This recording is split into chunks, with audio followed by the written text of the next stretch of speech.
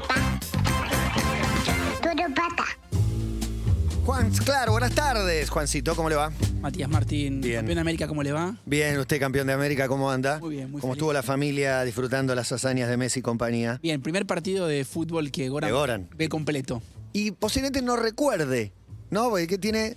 Cinco años. Eh, para mí le va a quedar el recuerdo. Uy, qué alta que está la vara en ese El recuerdo ¿no? recuerdo. Difícil, Ahí. difícil, puede ser. Eh, decidió la transmisión entre Teis Sports y la TV pública, Goran, porque dijo, escuchemos eh, a estos porque está el amigo de papá. El amigo de papá, excelente, excelente, Excelente. la referencia. Un Así gran que, abrazo. eh, 100% amiguismo. Y bueno, ¿qué va a hacer? Elegimos la TV pública. Y Milán no, no, no registró, ¿no? No, miran a dormir a las 8 de la noche. A dormir, perfecto, perfecto. Bueno, hoy tenemos alta historia. Tenemos una alta historia, volvemos a los arbores del siglo XX.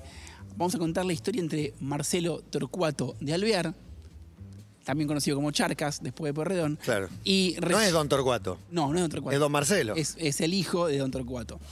Bien, eh, en 1907, la soprano ítalo-portuguesa Regina Pacini acepta casarse con Marcelo Torcua- Torcuato de Alvear.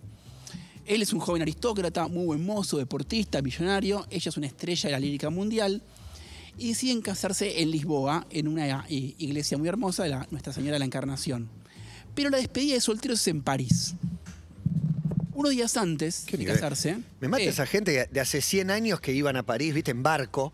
Dos meses de viaje. Llevaban un auto, no sé Sí. cómo era, pero. Mucha guita, mucha guita. La noche antes de casarse, a Marcelo le llega un telegrama. Que era tipo un tuit. Raro, misterioso. Firmado por 500 personas. Eh, Las firmas eran más largas que el mensaje. 500 retweets. ¿Qué decía el telegrama?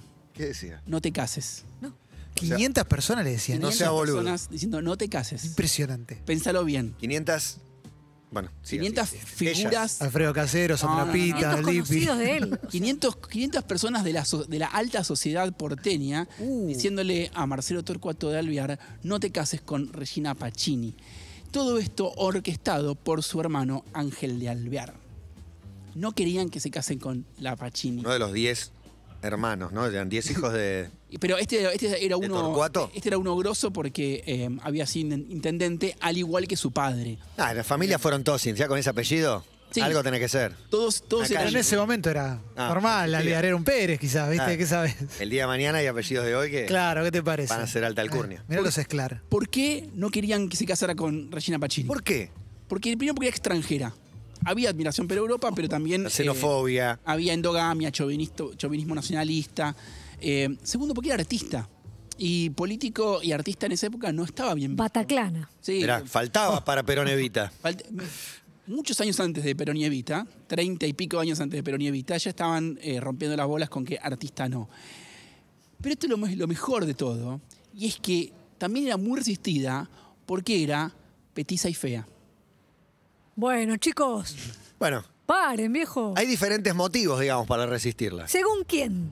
No, pero banco, Se- ¿eh? Según los estándares de belleza de la época. Ah, claro. banco que obviamente. hablemos de esto. La Sí, discriminación por fealdad No, de existe. hecho, el afuera le decía, ya no Obvio. importa que a vos te guste, a nosotros no nos gusta. Sí. Pero esto es lo que trae Clemente, eh, para mí es la, primera pregunta o el primer mambo que, eh, que a mí me surge con esto, es ¿por qué una pareja fea genera resquemor en el... En, El tercero. En familiares o en amigos o en terceros. ¿Qué te importa? Pero de verdad, ¿qué te importa?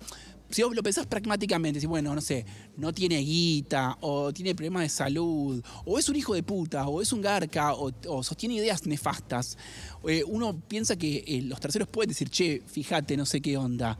Pero la fealdad. No, de hecho, muchas veces se ven una chica linda con un, con un chabón que no es lindo, agraciado. Dicen, mirá, la ley del embudo, la más linda con el más boludo. Y no sabes si es un boludo. No, y- ¿Te parece un boludo porque no te parece, porque no es lindo?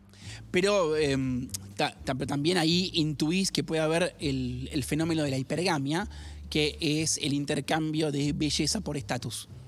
Sí, Bueno, o, o además- interés o dinero o lo que sea. Cual- cualquiera que salga con un tipo más grande, con más guita, olvídate, no sale del prejuicio nunca más. A, a mí me, me dejó un poco perplejo la, el- el- que estén tan preocupados porque fuera, porque fuera linda la esposa. Porque es realmente un valor inútil la belleza.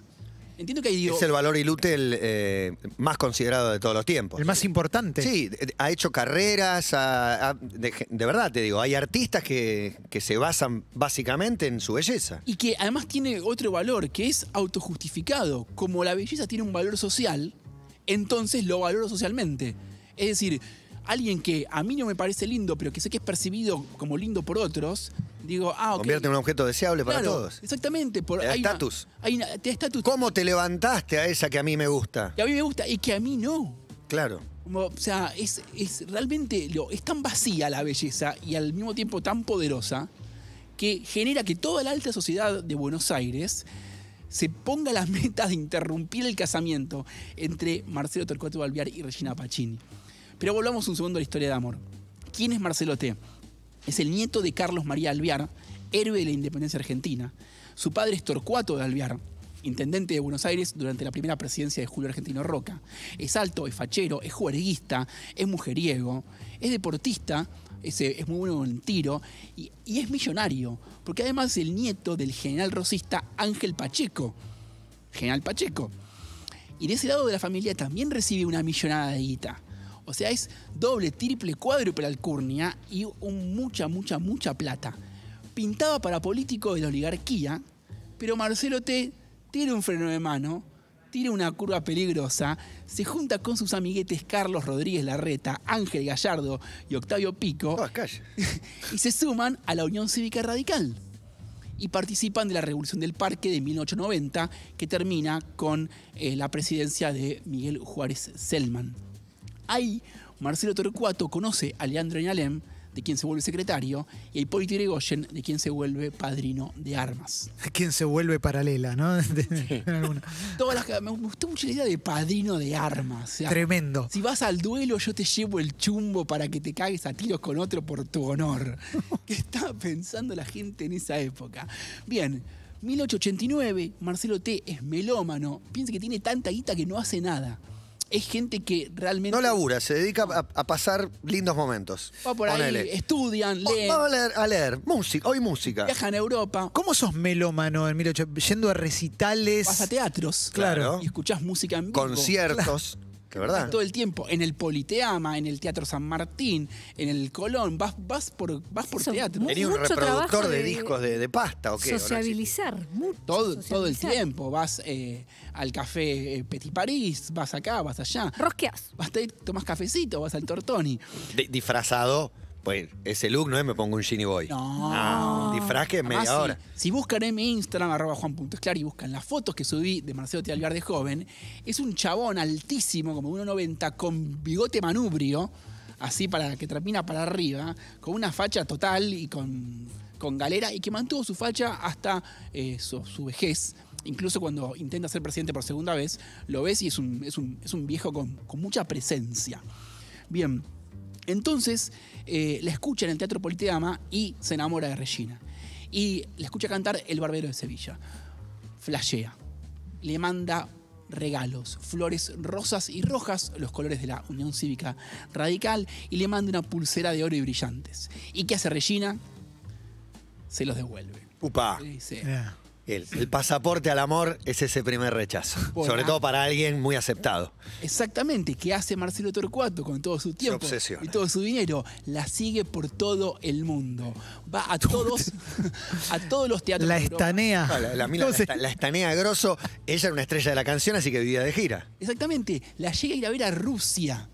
Qué O sea, grosso. estamos en un tiempo Yo me creo grosísimo que me tocó ir a Rusia por un mundial. Imagínate, te fue en barco. Barco. En barco y 45 millones de trenes para ir a ver a la chica que te gusta. Yo me creo, me creo groso porque la fui a buscar a Paloma a un cervelar. Y bien. este chavo fue a Rusia. Está bien.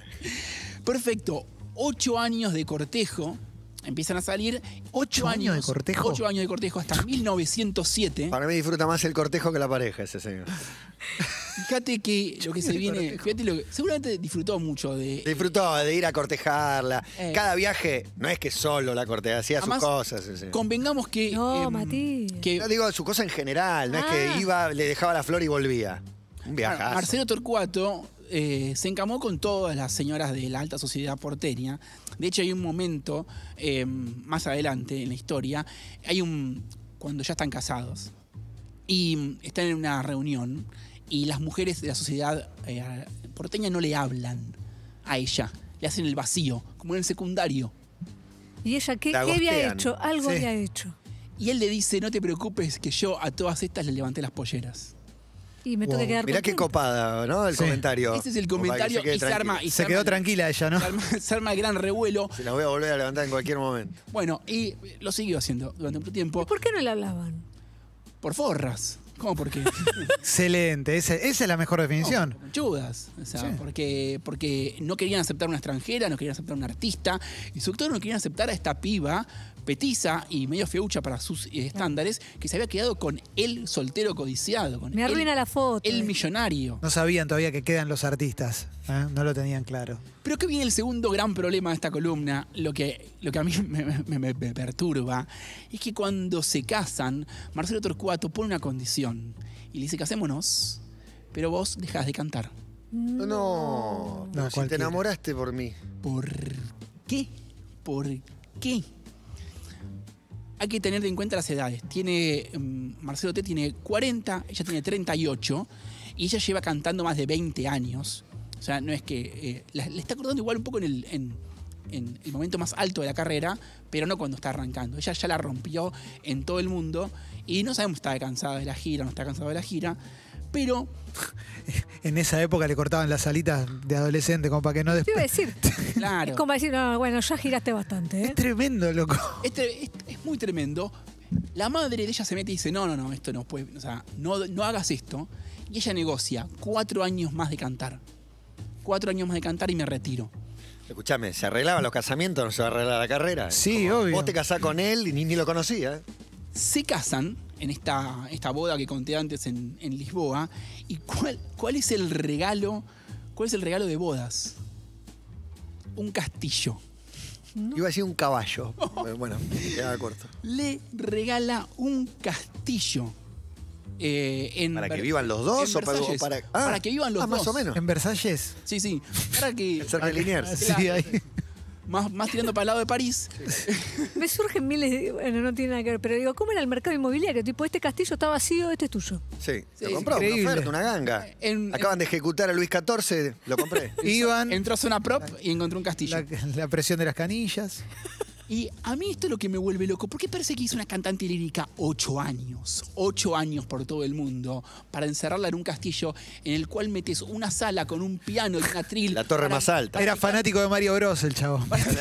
para que cante para vos. Pero es, ok, es hiperbólico, es gente con mucha guita, es un delirio, pero yo esto lo veo en el día a día.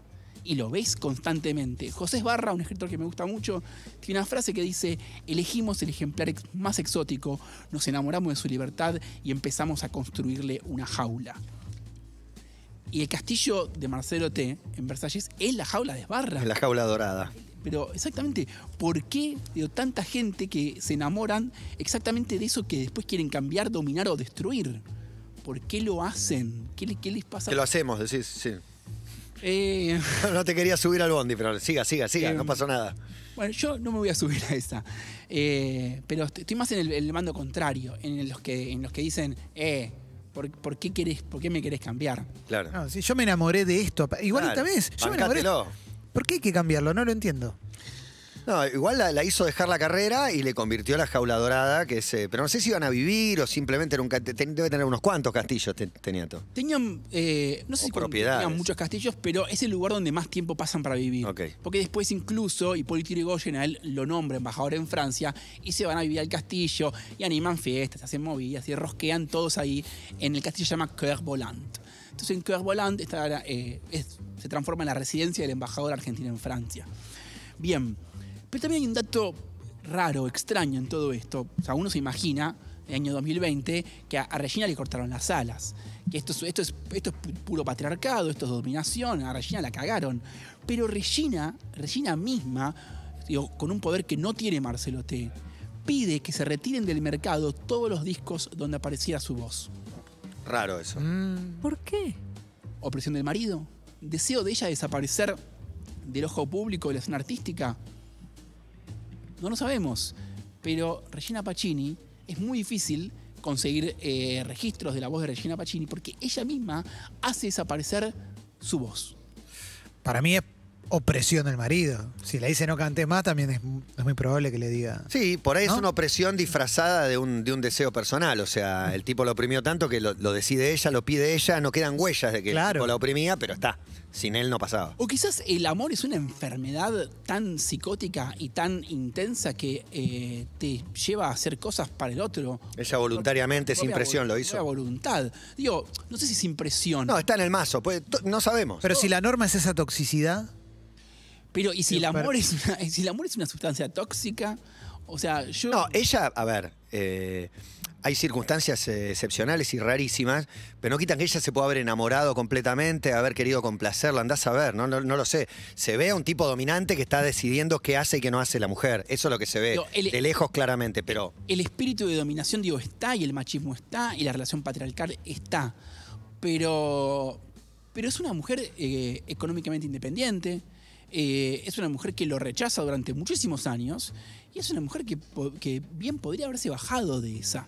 claro.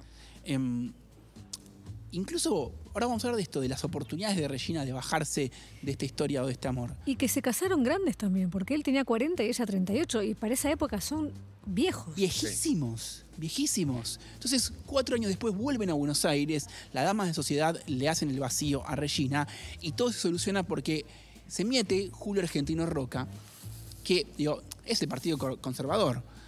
Eh, se mete, hace una recepción donde ellos son invitados de honor y a partir de que Julio Argentino baja la voz de que hay que respetarla, empieza a ser respetada. Sucede algo increíble porque Marzotti Alvear es un cajetilla, eh, es una persona con mucha guita, y Poli Yrigoyen es el presidente del pueblo que gana con el voto popular después de la ley, la ley. Cuando Irigoyen termina su primer mandato, le da su apoyo en la convención radical a Marcelo Torcuato de Alvear. Y la gente no lo puede creer. Porque es como un. O sea, me sale como un. depor- o sea, un- había sido diputado, pero nadie se lo tomaba muy en serio a Marcelo T. Estaba ahí, estaba para ser embajador, para armar unas movidas en Francia, pero no para ser presidente de la República. Finalmente es el candidato radical y en el 22 gana. Y la presidencia de, de Marcelo T. de Alvear es la última presidencia eh, unánimemente feliz de la República Argentina. Después viene el golpe del 30, pero hay, hay otro gobierno antes. Después viene el segundo gobierno de Irigoyen y el golpe de Estado que inaugura la década infame. Justo. Pero la- el gobierno de, de- de Marcelo T es un gobierno de, de- la manteca al techo. Eh, son, los, son los años locos. Argentina le va increíblemente bien, con tensiones sociales y con desigualdad y con injusticia, pero es, un- es una época de crecimiento económico increíble donde Argentina, por su PBI, llega a ser el octavo país más rico del mundo. Bien. Una estadística muy refrendada en tiempos eleccionarios. Sí, aparece. siempre, siempre Éramos en 1926, eh, etcétera. Contexto. es 70 años de corrupción. Hace 100 años, sí. Una, una repartija de la torta más bien injusta eh, y, un, duda. y un modelo de país completamente insostenible. No, agroexportador en aquel momento, Exactamente. 100 años atrás, ¿no? Bien. Eh, y Regina, a todo esto, ¿qué pasa? Es- se, se vuelve la primera dama y son una pareja como muy cultural. Iban al Tortón y frecuentaban a Borges, como a, en ese momento escritores que estaban como surgiendo. Eh, eran presidentes como culturales. De ca- casi creo que uno diría como el under hoy. Eran amigos de escritores y poetas. Perfecto. Termina su primer gobierno Marzotti Alviar, viene el segundo gobierno de Irigoyen, el golpe de Estado, y luego intenta Marzotti Alviar bu- a querer ser presidente nuevamente en la década del 30. eh, y sobreviene un escándalo de corrupción, el escándalo de corrupción de la CHADE, la compañía hispano-argentina de electricidad, que medio termina eh, acabando con las posibilidades de Marcelo T. Alviar de volver a ser presidente. Y muere el 23 de marzo de 1942, después de su eh, último intento de volver a la presidencia, a los 73 años. Bien, Regina murió en el 65, Mirá. es decir, 23 años después, a los 90 y pico. Todos los días 23 de cada mes, Regina Pacini iba con un ramo de rosas rojos y blancos, los colores de la Unión Cívica Radical, a la bóveda de los Alvear en el cementerio de la Recoleta. y estuvo ahí recordando a su marido todos los meses hasta que ella murió. ¿A qué se dedicó? Creó eh, el Teatro Regina y la Casa del Teatro. ¿El teatro de Regina es por ella? Claro. le- Muy bueno. El Teatro No me acuerdo, me olvidé el apellido Un de dato. ella. Pacini. Regina Pacini. Como Jorge Pacini, el Mirá profesor gabinete de Caroso y Nariz. Mirá vos. Y vino también Aníbal Pacini a, a Exactamente. visitarnos. La Casa del Teatro Sí. es una casa donde eh, artistas jubilados y sin dinero pueden... Pacini Escobar. Sí, perdón. Bueno, eh, el tema entonces ahora con qué hacemos con Regina Pacini, que nunca se bajó de, esa- llegamos. de eso que eh, visto 100 años después lo vemos como opresión, pero que decidió quedarse y que 20 años después de la muerte de su marido siguió rindiéndole tributo. Incluso, digo, eh, en un momento Al- Alvear va preso. Durante- ¿Salpicado por un escándalo de corrupción o no, nada que ver? antes, durante el, durante el golpe. Agustín P. Justo, que si no, me- si no estoy equivocado, había sido su ministro de Armas, em, arma, le arma una causa, pongámosle, y lo meten preso en la isla Martín García, a él y a un montón de radicales. Llegar a la isla Martín García no era fácil. Había que tomarse un botecito que se movía, digo, para una señora de la sociedad. Y Regina Pacini iba, día por medio, cada tres días, iba a ver a su marido a la cárcel en la isla Martín García, a llevarle comida, a llevarle ropa y a hacerle compañía. Entonces, eh, ¿hay algo ahí? Eh, Qué historia. Es Tremenda historia. y me parece espectacular esta historia. Tiene todo. Igual es, ella pobre me parece sometida por un sistema, digo, no solamente por el marido, sino digo, la norma es eso, es como El peor sometimiento es el invisible Sí. que te hace que vos elijas sin que se vea el sometimiento. que digamos, creas que porque estás ella, eligiendo. Ella lo terminó eligiendo hasta después de muerto. O sea, Sí. ir todos los meses o todos los días 23. ¿qué decís? para mí, digo, Tengo mis. Por momentos pienso que es.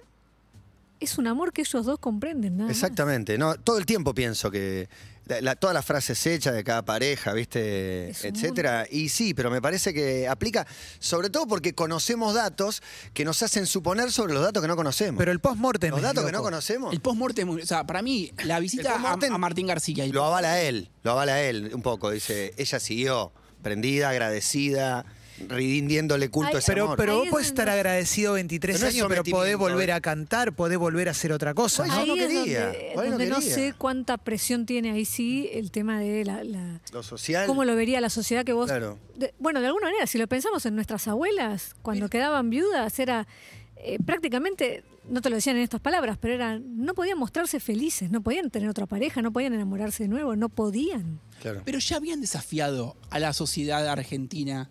O sea, esa mirada que podría haber sido inquisitoria y que podría haber sido admonitoria, y, pero ya se habían cagado en ellos una vez. Ya les hicieron un casamiento en la cara. Entonces, eso es lo que para mí, el, digo, el misterio de este, de este vínculo que no se deja encasillar en, ninguna de estas respuestas que todas parecen posibles. Y lo que a mí más me, me- me- me fascina es el cambio.